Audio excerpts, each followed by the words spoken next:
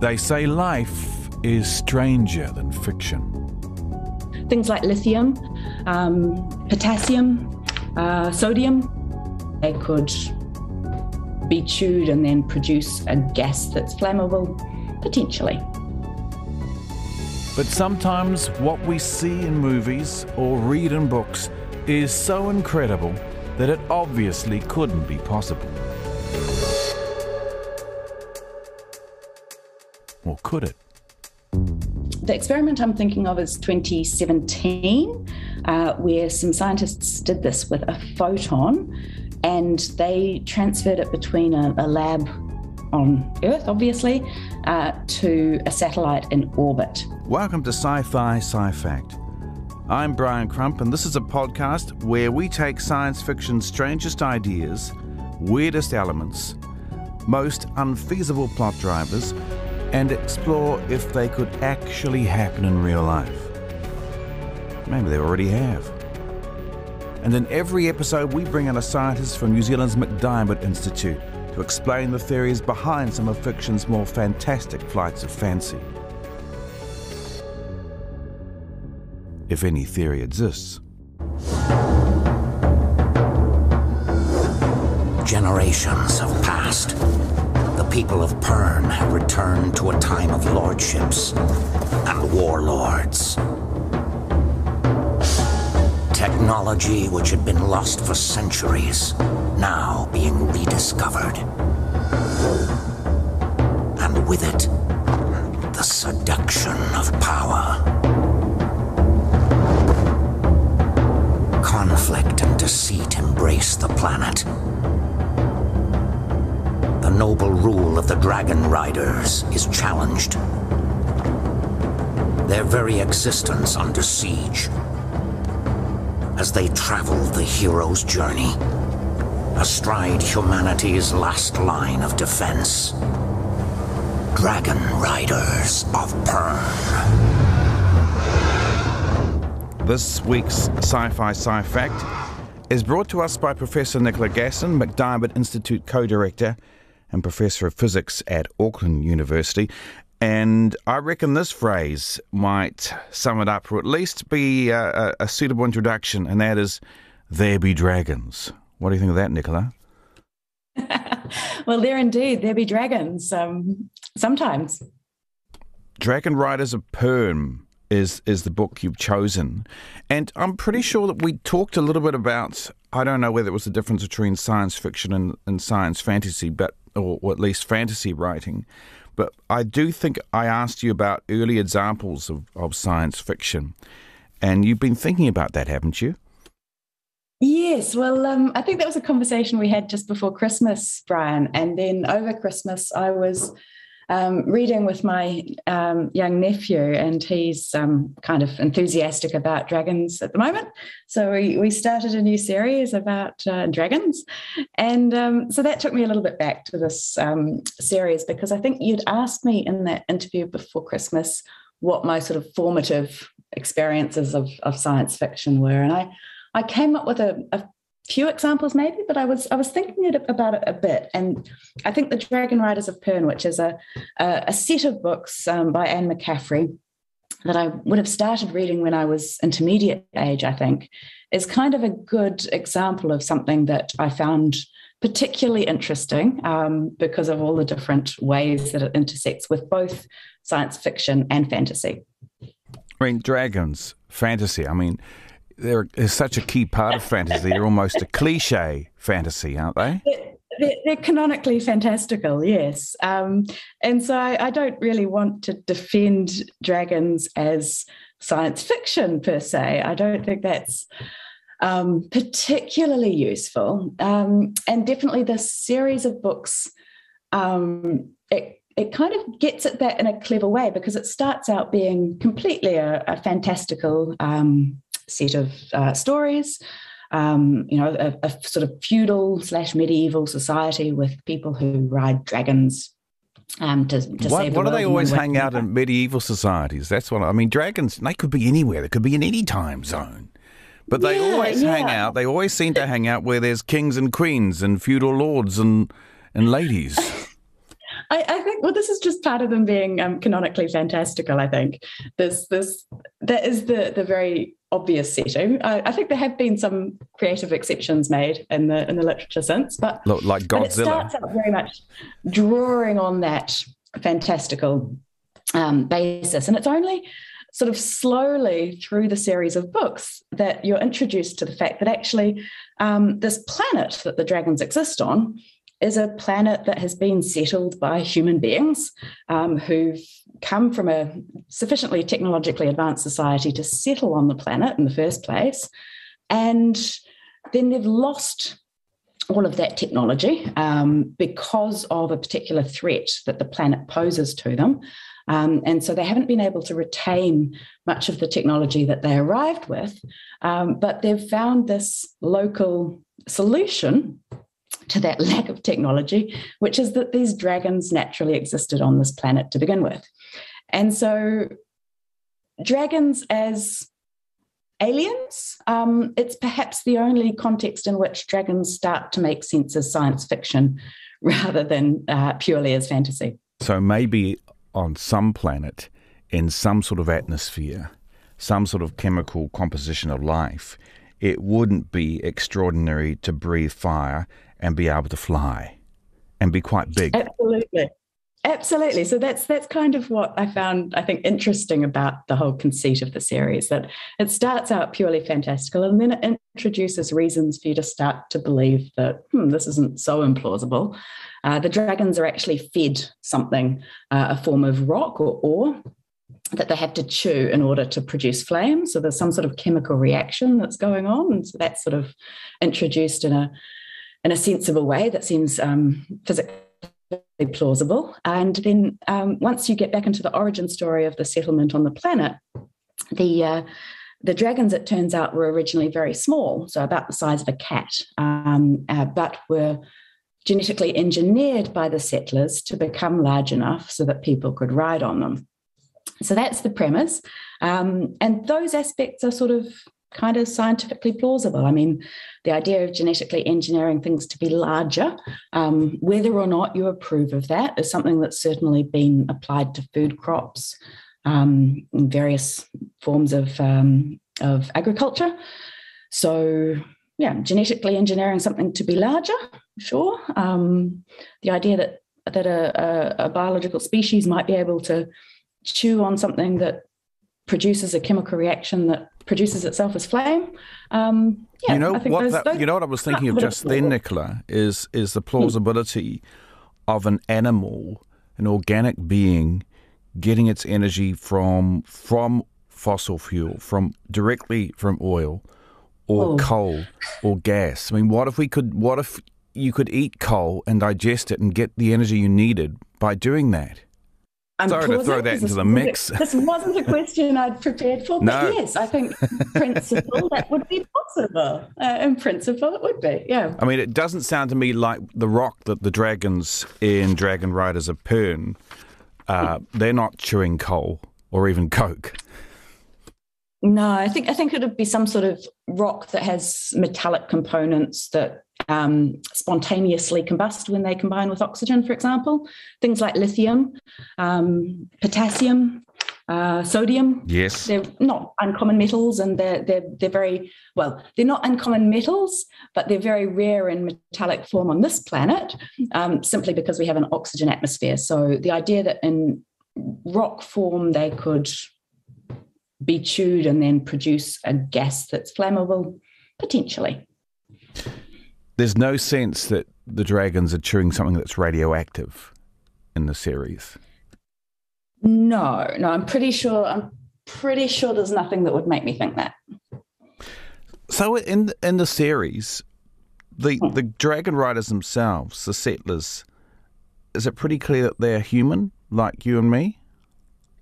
Yeah, it's pretty clear that they're human. Um, and so I should probably unpack a little bit the premise of the whole um, situation because it, it's probably hard to understand quite how central the dragons are to the story. Um, we'll get on to the other aspects of the dragons in a second. Um, but essentially, the society arrives on this planet and uh, they've, they've arrived because it's been surveyed and it's been assessed as being fit for human life.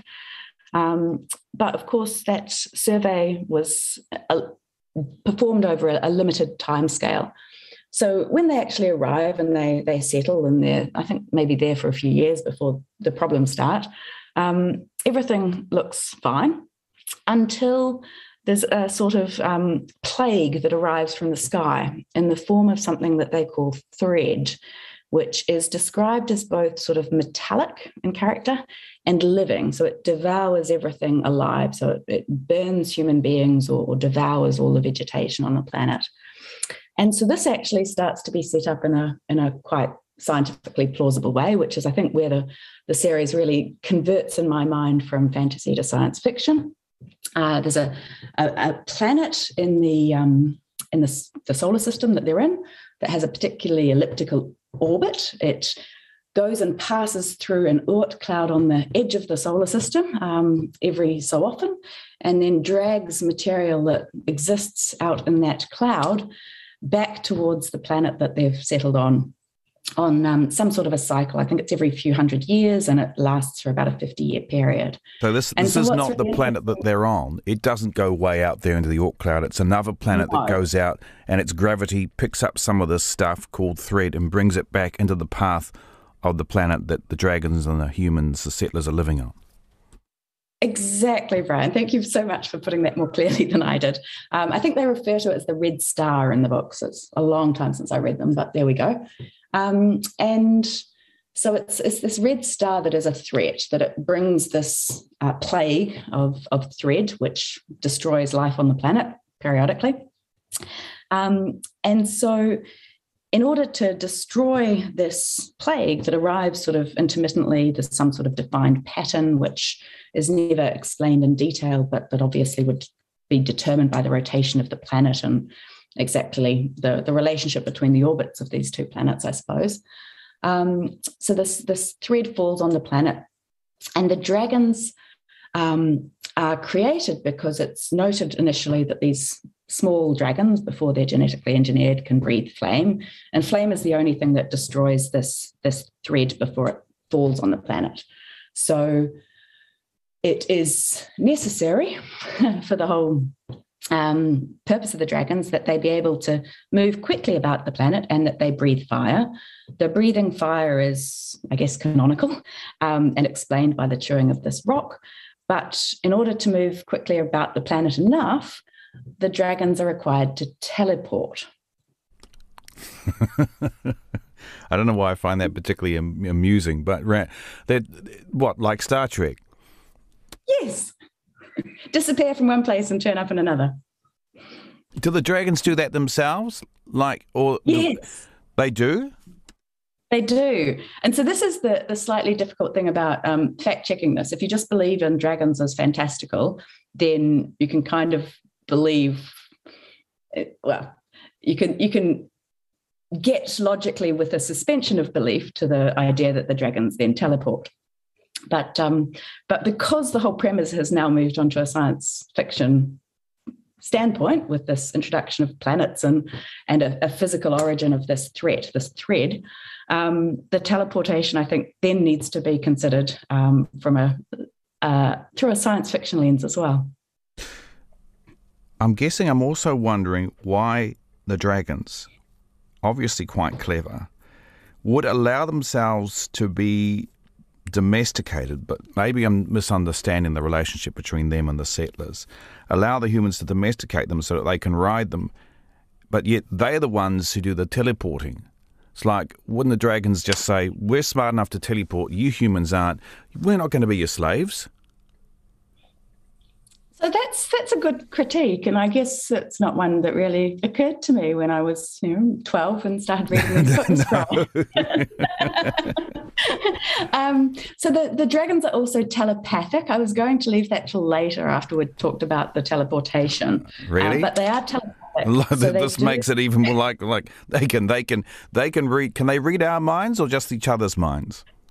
Um, they, I think they they can communicate directly with a human being and then with each other as well. Right. So, so again, they, have they've got they've got you know digital communication down pat naturally, uh, and yes. you would think that they'd be writing us, not the other way around.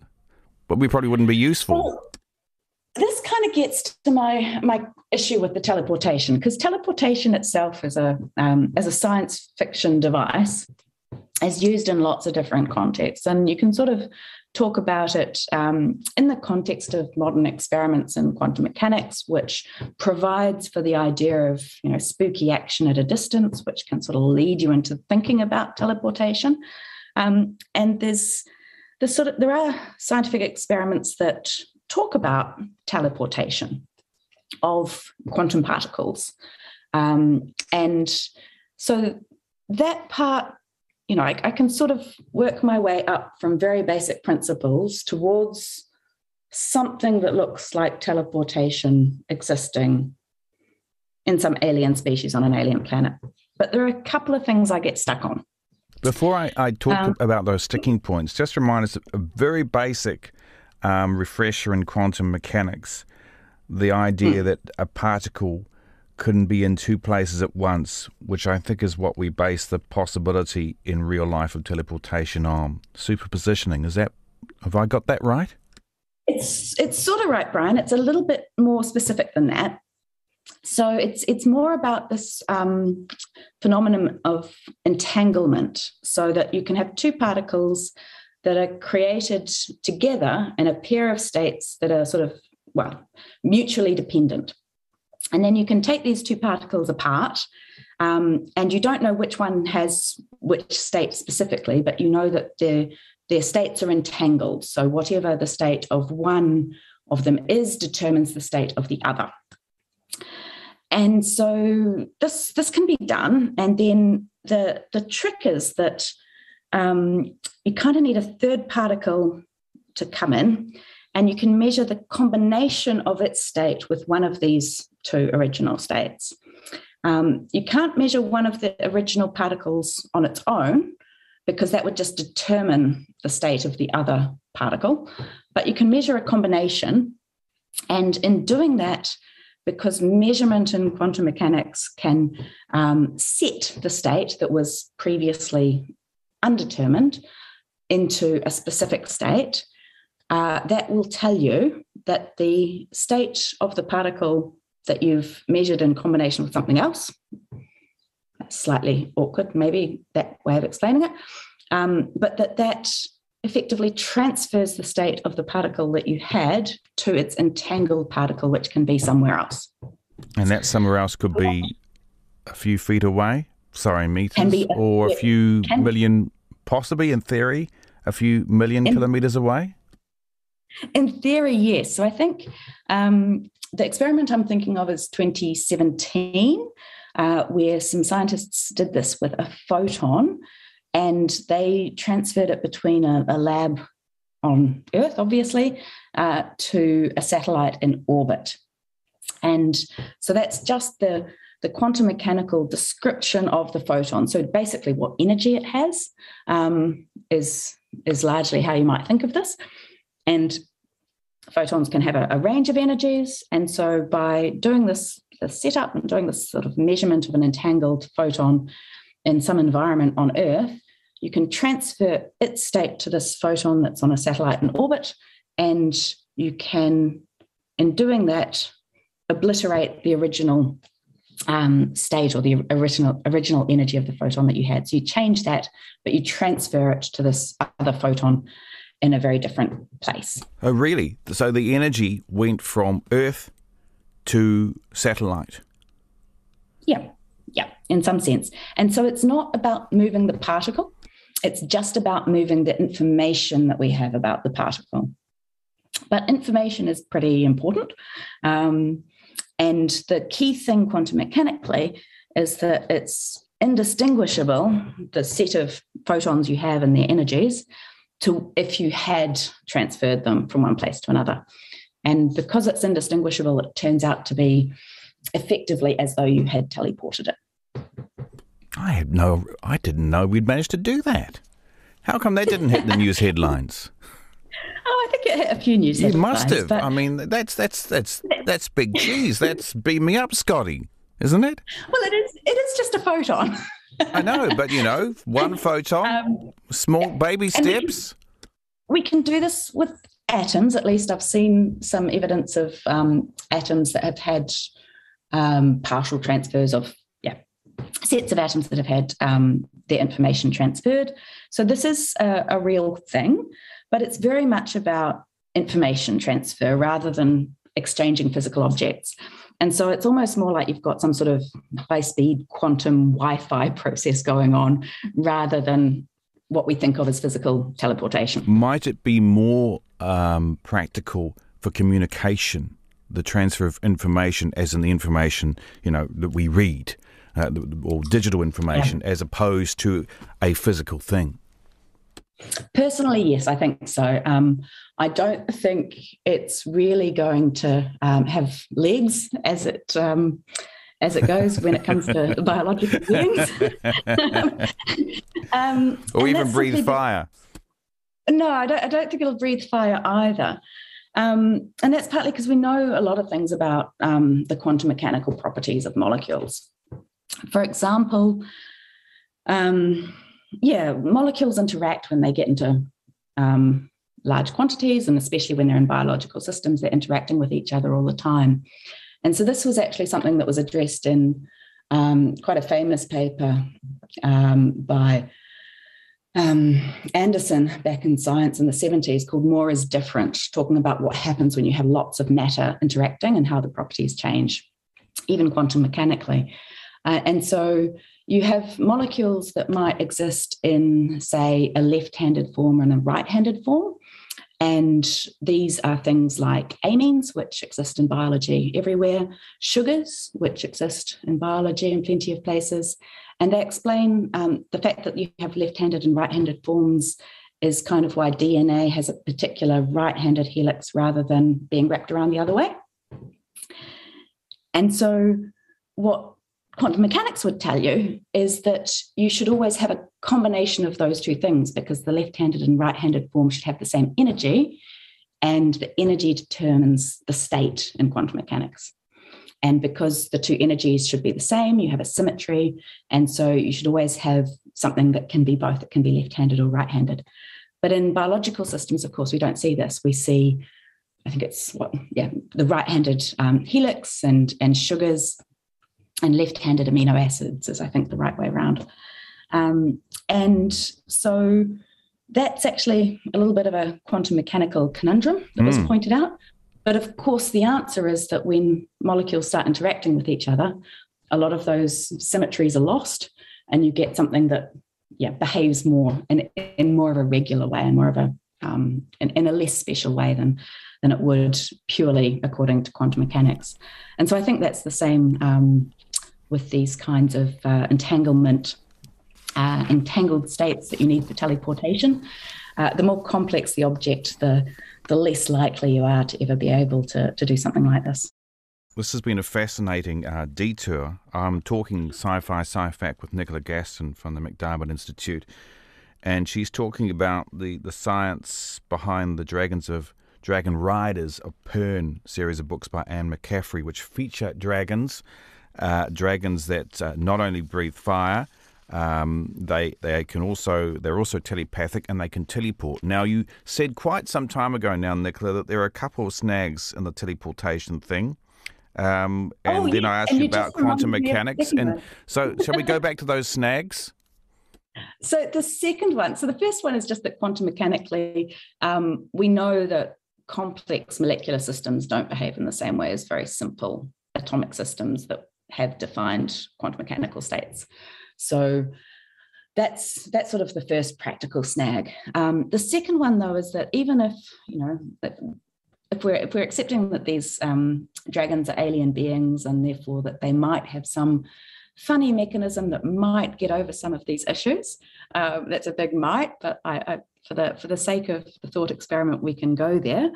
Um, I still have a really big issue with if it's an innate property of their cells and their physiology, how on earth, when they teleport, are they going to carry a rider with them? Ah. So that's actually a bigger snag yeah. that occurs to me. That just doesn't make any sense. Right. Okay. Um, the humans, and which brings me back to why would they bother with the humans in the first place? You know, Um, they Well, seem to be offering us. Do they like us? These dragons?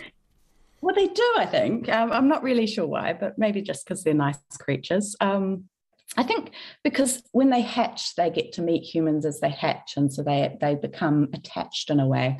Um, I think that's the premise, but I'm not really sure why they like us in this Yes, whole. you know that's a, but that's an interesting another potential science fiction um, uh, uh, meme. I can't. I don't think that's the right word, but it's the one that came into my head. Blame the internet, and and that is imagine beings that are super intelligent yet are emotionally dependent on others that aren't so smart. In other words, we humans have pets that are really smart, but they're they're like dogs, so they, they, they bond to us and they'll do what we say, even though they're smarter than us. That's sort of psychological kind of sci-fi, but that just came into my head just then. That- that- I think that that could take you all sorts of places, and, and possibly nowhere very good if you really explored that one. Oh yeah, I'm sure it would be trouble. Mm.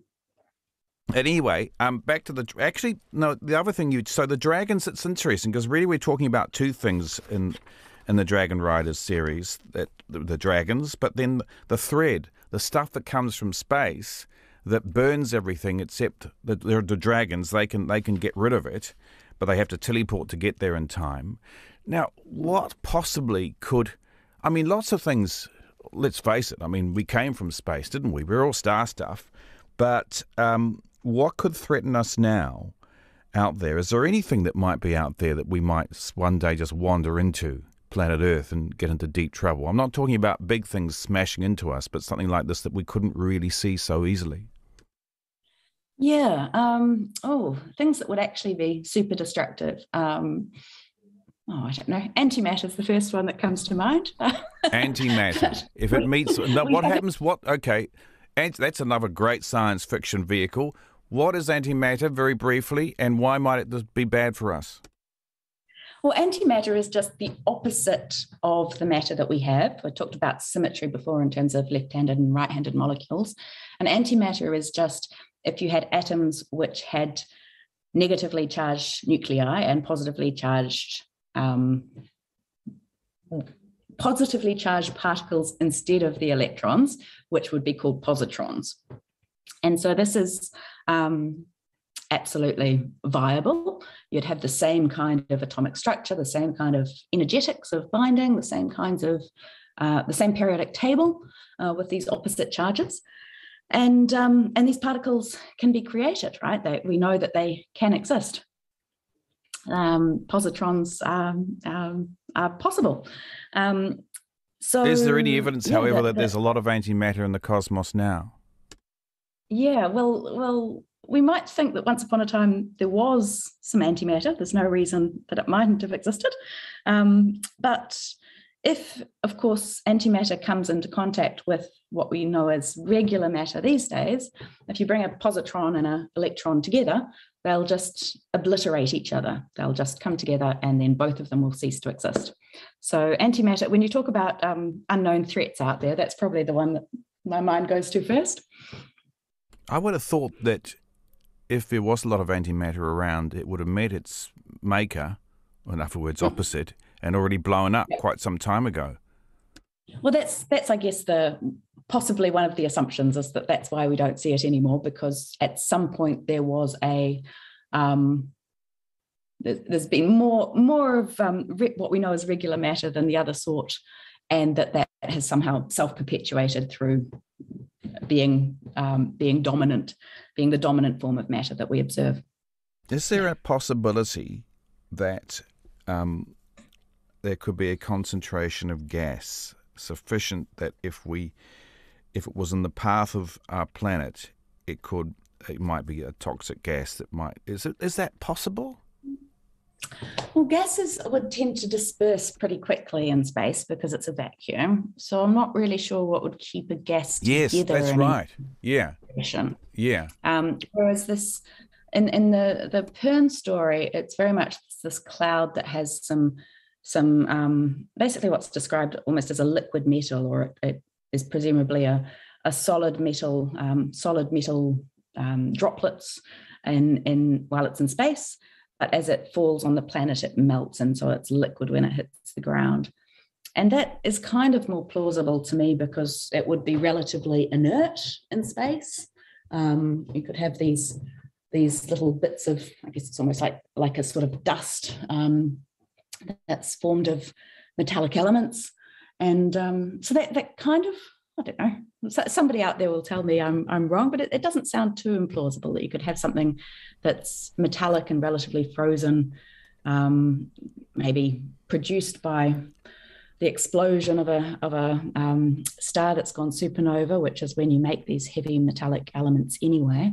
Um, so yeah, I'm not I'm not quite sure what would form it. Could exist way out on the edge of the solar system. There's a planet that's got a very elliptical orbit that goes out, gathers some of it, mm. brings it back on a mm. on a regular once every what 100, 200, 300 or 400 year basis. Um, yeah, something like that. And dumps it in the path of of the planet that um, the settlers and the dragons live on. Um, so I guess that, that seems plausible, provided that the dust out there on the edge of the, that's the solar system isn't going to do what any gas would do, and that is disperse. Yeah, so the, the the the point of it being a cloud would have to mean that it it sort of was produced by something, and then it has sufficient stability to be lingering around um, due to whatever gravitational um, forces are about, I suppose. You know, the other yeah. thing that, that I, I wondered about that is a threat that's all around us in terms of the mm. planet Earth is is radiation from the sun and actually from mm. the wider cosmos. And our magnetic field protects us from that, doesn't it? But if we didn't have that magnetic field, we'd be in deep doo doo, wouldn't we?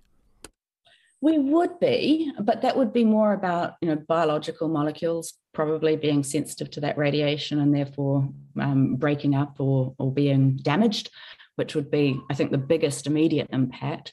In this case of these metal particles, I think what's interesting is that you can sort of imagine them melting as they fall on the planet, but then there are two things. One is that they have to be burnable, and it's maybe not obvious that metal particles are burnable. Um, but that I think I can I can suggest a couple of cases where it would work. Um, but then when they hit the ground, they have to eat all the vegetation that's there and sort of consume everything that's living as though they were living themselves. And that I sort of the, the description of this thread as being itself alive in the books is the thing that I can't really get my head around having a metallic substance that's alive. Um, but I think doesn't that depend on, on how we define life? I mean, life could be life could have yeah. if if if if chemical if molecules can reproduce themselves, make copies of themselves. Does it matter in what form what the molecules are? All that matters is that it, it, it they reproduce and carry on, and maybe as they adapt, they actually it's not by chance they start to, ad- to, create adaptations which, which allow them to keep copying themselves. Isn't that life, or my way off beam here? That, you, you are exactly right. And so that would be my reason for saying that this metallic stuff thread is not alive in the books because there's no suggestion that it replicates itself. It expands in volume, it sort of takes over as it eats. Um, but that's just the absorption of material, I think, the, the fact that it's just sort of growing. I don't think that really sets um, con- meets the condition for life, in my opinion. So I'm relatively comfortable that it could just be a complex liquid metal that is, you know, able to be burnt in the atmosphere, but possibly is activated in the atmosphere because it would be reacting already with oxygen, for example. And so it might fall to the ground as a very corrosive oxide of a reactive metal that would then uh, react very vigorously with water or with any living substance that had water in it. So I, I can actually imagine that that part of the narrative could be um, could be possible. How come it doesn't kill the dragons? Well, it does. It does um, damage the dragons, so they can be burnt by thread in the same way that any of the humans in the story can be. But of course, because they can teleport, they can dodge it. And I think they, they simply arrange themselves to burn it in the sky before it hits them, is the, the basic idea of the books. How, what aspect of, of, of your scientific curiosity do you feel was really um, sparked by the series by Anne McCaffrey? Um, was it honest, just the I whole think, thing? Yeah, I think it's actually the world building aspect of it, which is a I, perhaps the one thing that fantasy tends to do very seriously that where science fiction tends to build up from the things that we know about now. Um, there's a there's a sort of world building in fantasy that is particularly interesting in the way that actions by the characters can disrupt or change um, what is known. The um, the idea actually that people settled on this planet and that technology was lost rather than gained, that that sort of inversion of what we often think of in, in, science fiction is that it's this technologically advanced society somewhere in the future. But the idea that you're you're you're working in a in a science fiction narrative, but that society is less developed and doesn't have access to even technologies that we have access to now, I think possibly that was the, the aspect that most got me about the whole series. And as a scientist, see, you work with a lot of information, there's a lot of empirical work involved in science. I mean, you have to, to, to back up any hypothesis that you might have with empirical evidence. But yet, mm. the actual act of creating a new idea maybe the idea that you just put aside the rules that as we know them and imagine something completely different is one mm. way of approaching a problem. Absolutely. I mean, I think um, it's it's it's tricky because it's it's easy to over romanticize the science that was done hundred years ago. That just to sort of say, oh, it was so much easier to find out meaningful things. And certainly the development of quantum mechanics as, as part of science would be a, an example of where people tend to say that. But, but um, yeah, I think the, the more that we are willing to sit down and look at things from first principles without sort of using the the quick um, shortcuts, I suppose, that that we tend to get used to in science, the jargon that takes us from one place to another that says, okay, well, all metals are like this, or um, other things are like that. Um, yeah, the more we can sit and, and think a little bit creatively about what could be possible in some other situation, the more um, yeah, the more we're receptive, I think, to to actually seeing when there are surprises in the data that we're observing empirically. And here comes my last question, getting back to the telepathic, not the telepathic, actually the teleporting dragons. See, even if we could, we could teleport physical material, not just not just photons, not just or information. Um, mm. If we could, how would we be able to transfer consciousness? You know, I mean, if you could beam a human from from Earth to a satellite, yeah, but and recreate the atoms of the human, but what about the human's consciousness? Yeah, I mean that's that's a, a big thing in all this, Brian. I think um, the consciousness part i mean to an extent i, I guess I, I, figure it's it's encoded somewhere in the particular electronic states in um, the atoms that make up neurons in our brains etc um, and if you could reproduce all of that perfectly that perhaps you would have the same consciousness but but yeah I, I think it would have to be a perfect replica and any small changes would perhaps make that invalid. I don't know. I I um. I think it sounds like a great vehicle. a great, but wouldn't it be a great vehicle for a science fiction series? Somebody who re- how people who regularly teleport start to um, lose their minds, so to speak. Oh, or even I, I can sort of imagine it, right? People teleporting as a way to actually get to um, other planets that are, are too far away to travel to in real time and um, arriving, but without any knowledge of who they were. I, um, what am I doing yeah. here? oh dear, yes. Nicola, it's been fascinating talking with you. Thank you so much for your time. Thanks so much, Brian. I always enjoy it. Thanks for listening to this episode of Sci Fi Sci Fact, hosted by me, Brian Crump produced by Andrew Robertson, and of course, made possible thanks to the incredible knowledge of those brilliant scientists at the MacDiarmid Institute.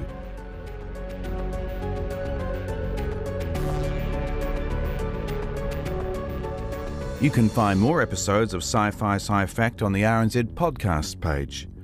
RNZ podcasts are also available on Apple Podcasts, Google Podcasts, Spotify, iHeartRadio, or pretty much wherever you might find your podcasts. And make sure to follow us so you don't miss out on any new episodes.